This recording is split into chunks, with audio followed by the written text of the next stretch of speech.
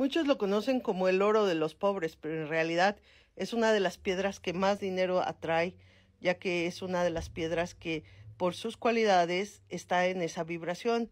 Tenemos brazaletes, se llama pirita, y tenemos corazones, uh, rocas, tenemos los uh, cuadros que son los uh, cuadros es para la estabilidad económica, las carretillas, tengo un hermoso ángel para siempre activarlo cuando salimos de casa. Estos se ponen en la entrada, son diapasons.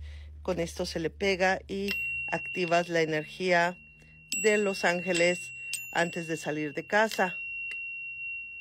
También tenemos lo que son los pequeños squares para las bolsas, carteras, monederos, ya que lo que es un cuadrado siempre se le da el atributo que es una estabilidad económica así que los tenemos en pequeños o para el tamaño de los altares en grandes.